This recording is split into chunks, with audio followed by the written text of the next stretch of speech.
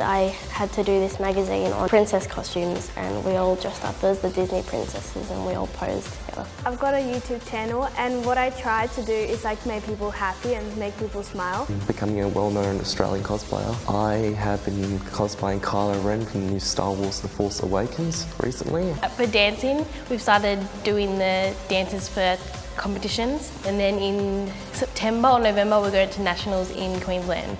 I've been in three ads a Mazda ad, a chocolate ad and a Officeworks ad.